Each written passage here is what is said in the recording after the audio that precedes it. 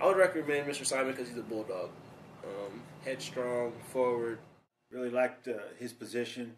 Very, very aggressive. did a great job in a very difficult time in your life when you go through a divorce. It's uh, a very complicated process to go through. You're getting mounds of paperwork and all kinds of deadlines and all kinds of timelines that you have to follow. And Craig was just outstanding in getting all the hitting all the timelines and making sure everything was filled out correctly and done very well for me. He was always available. Callbacks the same day. Mo- most often, uh, pick up the phone right when you call that same time, which is something that was very comforting for me.